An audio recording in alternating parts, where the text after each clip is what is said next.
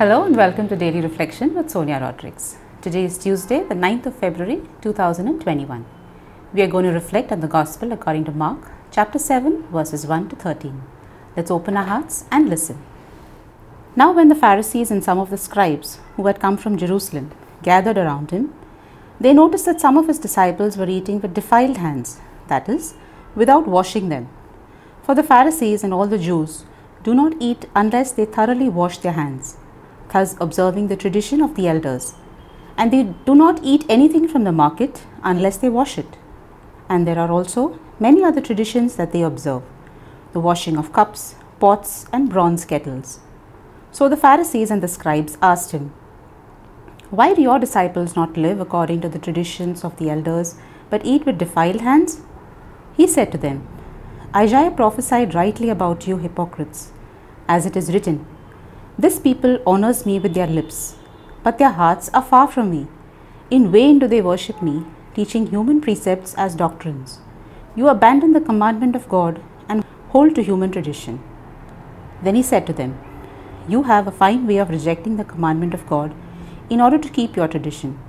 For Moses said, Honor your father and your mother, and whoever speaks evil of father or mother must surely die. But you say that if anyone tells father or mother, whatever support you might have had from me is korban, that is, an offering to God, then you no longer permit anything for a father or mother, thus making void the word of God through your tradition that you have handed on. And you do many things like this. The Gospel of the Lord. If you observe carefully, each time the Pharisees, scribes, or their counterparts approached Jesus to question him, he never offered a straight answer. Obsessed as they were about maintaining external appearances, he often held up a mirror, giving them an opportunity to examine facts and find answers for themselves. Being law experts, that should have been simple for them to do, or was it? Today, the mirror he held up was the fifth commandment. This is, in fact, the first commandment with an explicit promise attached to it. It says, Honor your father and your mother, so that your days may be long in the land that the Lord your God is giving you. Scripture is also very clear about the consequences of disobedience to this commandment. Now, as per ancient Hebrew custom, Korban is a gift or an offering made to God, and the law experts had conveniently used this to twist the fifth commandment. They altered it to mean that if an amount of money was set aside for God, it was all right not to use that money to take care of one's parents. How's that for a twist?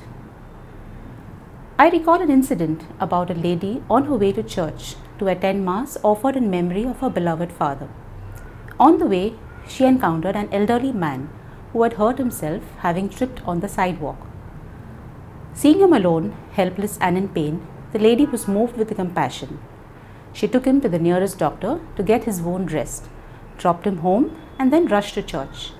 She realized she had spent the money intended to offer in church. She also missed the Mass due to the ensuing delay. Feeling awful about it, she broke down into tears. On listening to her story, the priest reassured her that there was no reason to cry. Her dad was in fact rejoicing in heaven at her act of being a good Samaritan to someone in need. Never know that old man could have been an angel. The money could be restored, the Mass would be reoffered another day, but the opportunity she got to reach out in love and service that day was priceless and irreplaceable. That is what Jesus was trying to explain to the Pharisees. We are human beings, not human doings. While external traditions and obligations are important, let's emphasize more on the internal cleansing we need for our hearts and minds. On its own, the former is mere lip service, but combined together, they lead to living and loving service to our Lord and His creation. God bless you.